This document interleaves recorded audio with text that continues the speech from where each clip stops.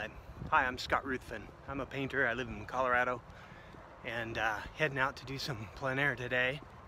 I thought I'd just make a quick video talking about plein air painting and its impact in, in my uh, life and maybe give some advice to new painters out there, or people who are interested in plein air but don't really know where to start. So, uh, plein air painting for me, uh, I guess I've always done it. I love being in the outdoors anyway, and so it was a natural fit.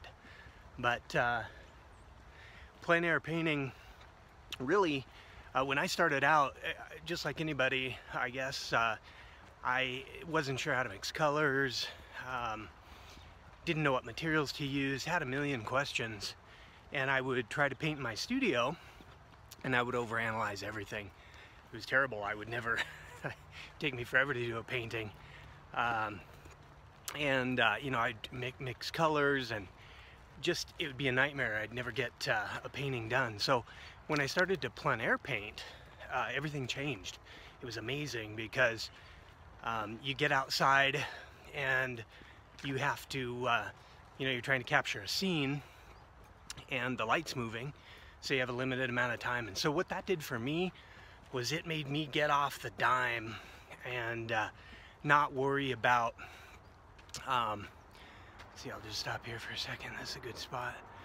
Um, you know, it made me get off the dime and start just diving in and mixing colors and, and capturing the scene. And so my brain kind of switched from overanalyzing everything into um, more of a hurried, rushed mode, which can be bad too. But uh, the bottom line is it, it kept me from overanalyzing everything and made me dive right in. So I started make making decisions, and um, you know, it wasn't immediate, but over time, um, hmm, it's a good spot. Over time, you start to develop that instinct, basically, because you're responding to um, the scene and everything that you're learning along the way starts to become part of your, well, painting DNA, I guess and your visual memory and uh, the intuition starts to take over. It makes you a faster painter, helps you make decisions. And you know, a lot of times, even if you don't know what to do, responding in the moment and using that intuition, you end up with a pretty good result. Um, and so for me, it, it, really helped me get off the dime, start painting uh, quickly, and um, at a point where uh, I, you know, I was making decisions intuitively. Now, I love plein air painting. I, I, would say if there's any advice I could give to the new painter, it would be to get outside and paint um, on location from life.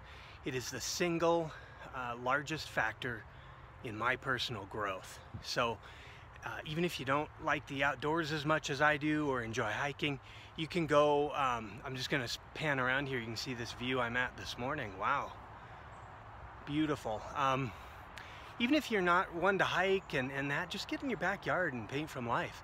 It's amazing what that will do for your confidence and ability. All your paintings are gonna turn out, uh, mine sure don't, but um, what happens is you develop your own shorthand. And when you're under a time constraint because of, uh, of light changing, uh, you develop that shorthand. Uh, it's just a natural thing. It may take you um, you know, months or years to do that. So don't get discouraged. Make sure you're enjoying your time outside.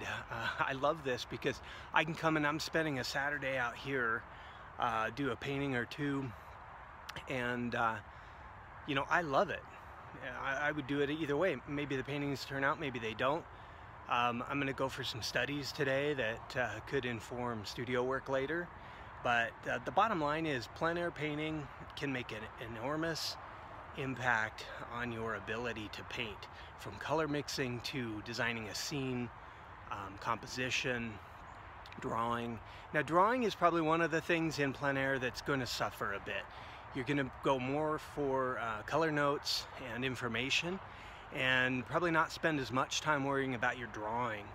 Um, and the reason is you get bogged down in the drawing and uh, miss most of the scene. And you know, you're really here to capture information uh, make a nice painting, but gather information really in, in the plein air setting.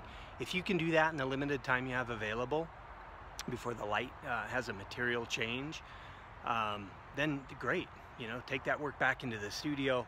If it's something that requires more drawing, um, you know, then put the time in back at the studio to uh, uh, shore up the drawing on a larger studio piece. But you'll have all the color notes and the, the feel that um, really hard to, to make up from imagination. Some people can do that, I can't.